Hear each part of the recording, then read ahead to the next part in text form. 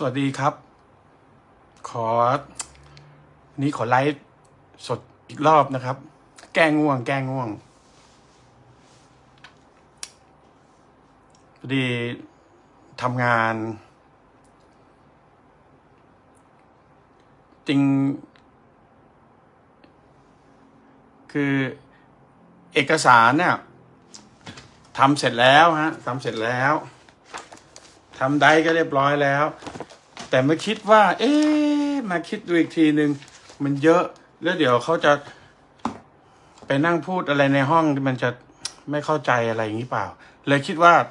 เราจะทำ powerpoint ใช่ไหมทำ powerpoint ดีกว่า เปลี่ยนใจไว้ได้ทำ powerpoint นำเสนออะไรด้วย ก็ทำไปทำมางานงอกครับ ยิ่งทำมันก็ยิ่งเยอะ เอ๊ะนั่เอา อันนี้เอา นี่ยังไม่เสร็จเลยนะครับ ขอไลฟ์สดแก้ง่วงก่อนครับ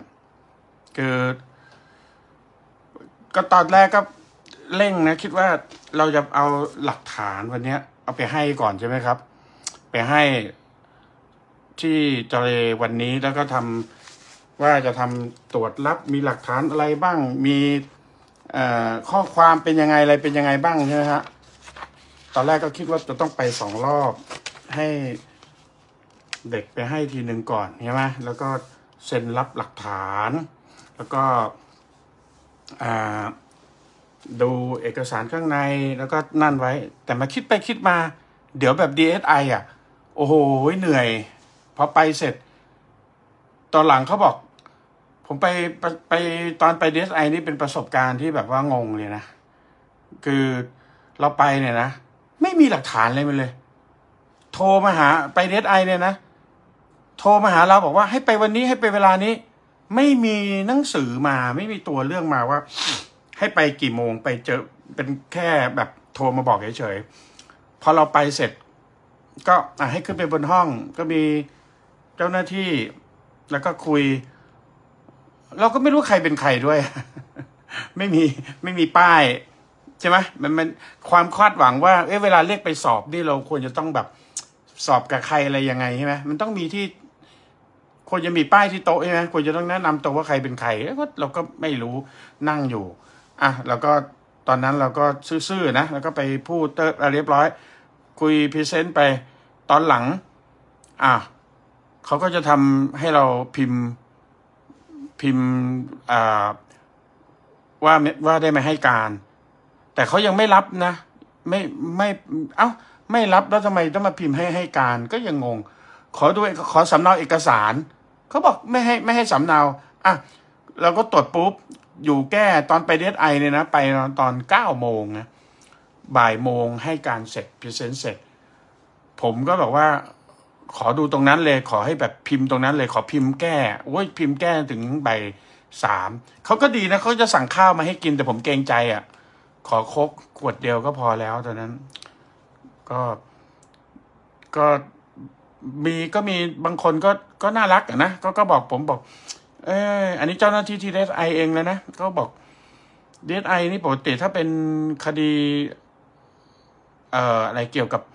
ฆ่าคนเกี่ยวกับอะไรเสียชีวิตอะไรเขาก็ไม่ค่อยอยากรับหรอกเพราะว่ามันมันโอ้ยมันอะไรหลายๆอย่างอะไรเงี้ย แต่ถ้าเป็นคดีพวกเกี่ยวกับไอ้นั่นแล้วชอบฟอกเงินหรือว่าพวกอะไรค้ายาหรือว่า อะไรเงี้ยการพนันอะไรออนทุจริตอะไรอะไรประมาณเนี้ยชอบ แต่ว่านั่นแล้วก็เขาก็บอกว่าอาจอาจจะไม่รับอะไร แต่ประเด็นคือ เอ้า จนไปเราจนกลับมาแล้วเรายังไม่มีเอกสารอะไรทักอย่าง แล้วก็เสร็จแล้ว ผมก็ถามว่า เอ้าแล้วเรียกผมมาสอบไงก็บอกเออถ้าเกิดสมมุติว่าเผื่อหน้าวันหน้าวันหลังเกิดขึ้นศาลหรือเกิดอะไรอย่างนี้ศาลขอมา เราก็จะได้เอาคำให้การให้เลย เอ้าก็งงๆตอนนั้นยังงงๆเองใหม่ ๆอยู่ แล้วทีนี้ก็มีเจ้าหน้าที่ท่านหนึ่งเขาก็มาคุยด้วยเขาบอกว่า ผมว่า อันนี้ อันนี้เจ้าหน้าที่พูดนะเขาบอก ผมว่าคนบนเรือเนี่ยเขานั่นมานะเขาพูดกันไม่มีพิรุษเลยนะ เนี่ย คุยกันหลายคนมันซักอะไรไม่มีพิรุษเอ้า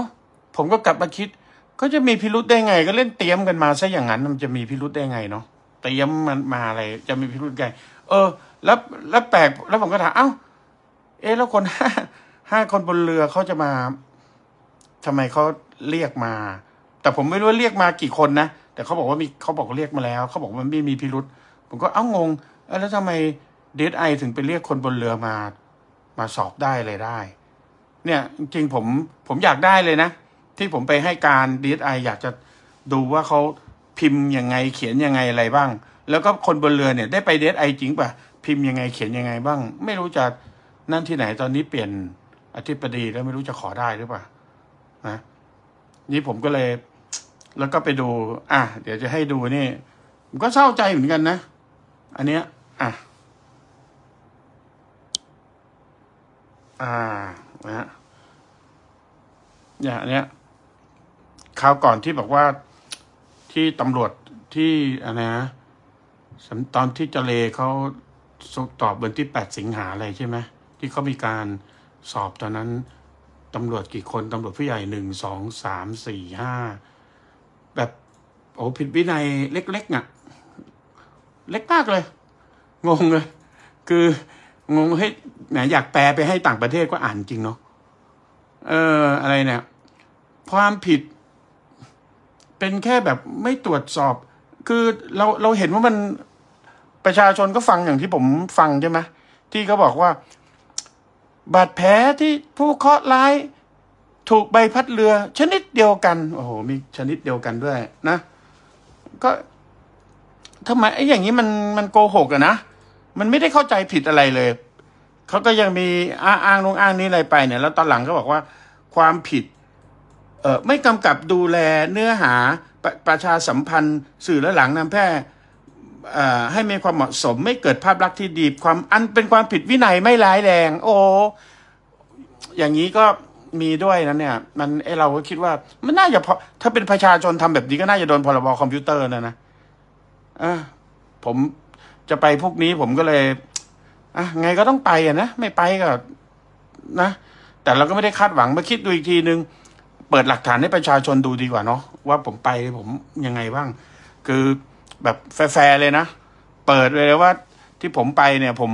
ส่งอะไรเขาบ้างใช่ไหมแล้วก็เขาจะสืบกันยังไงก็ก็เรื่องของเขาอะนะแต่เราก็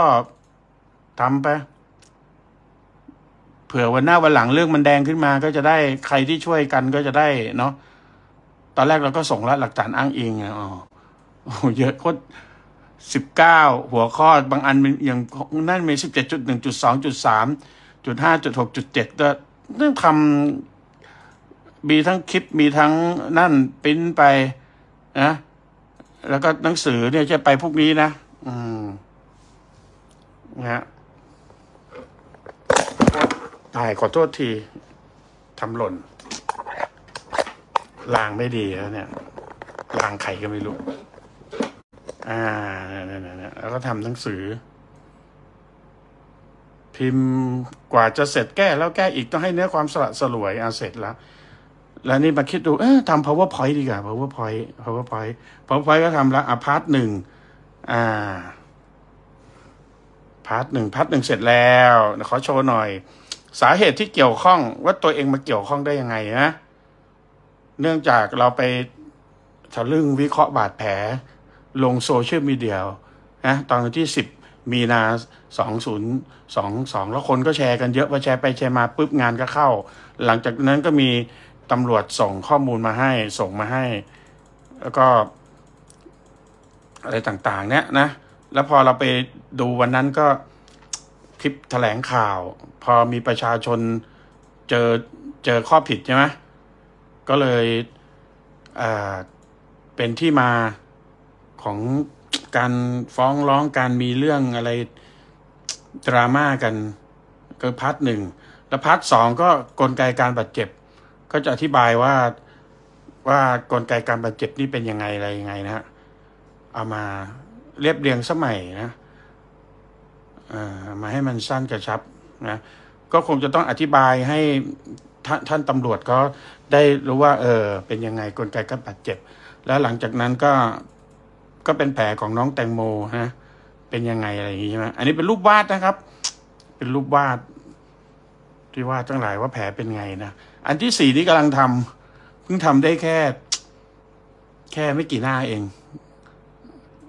เออหิวข้าวด้วย ง่วงด้วย ก็เลยขอไลฟ์ก่อนอ่านี่ก็ทำพาร์ทสี่นี้เป็นเรื่องของข้อมูลอันเป็นเท็จ เฉพาะเรื่องชันสูตรพลิกศพนะเราก็จะทำไปอะไรไปเนี่ย มันก็ก็เยอะก็ก็ร้อทำก็อะไรอะแบบเดียวกับที่สิ่งที่สมมติด้วยห้านะข้อมูลอันเป็นเท็จหรือทุจริตเฉพาะเรื่องบาดแผลอ่าเนี่ยข้อมูลที่ห้าแต่ว่าเราจะต้องเอามาทำเป็น powerpoint นะฮะก็ไม่รู้จะตั้งเป้าไว้สามชั่วโมงให้เสร็จนะ สามชั่วโมงให้เสร็จ ก็จะเสร็จโดยสมบูรณ์พรุ่งนี้ก็ไปอ๋อนี่ insert วิดีโอมีรอยอยู่ฮะเสื้อเสื้อสวย ให้วันนี้ดูรายการเมื่อตอนเย็นแล้ว เอาเสื้อตัวนี้มาใส่อ่าให้เข้ากับนะเอ็กซเรย์ กระโหลกศีรษะ พวกนี้ต้องนั่นครับ ก็ขอบคุณ ขอบคุณทางอะไรนะ ประชาชนที่ให้ให้กำลังใจนะครับ ก็ขอไลฟ์แก้ง่วงเดี๋ยวผมจะไปเวฟมาม่ากินแล้ว แล้วก็ทำต่อนะฮะครับ ก็ ก็ขอลาตีสวัสดนะครับ วัสดีครับ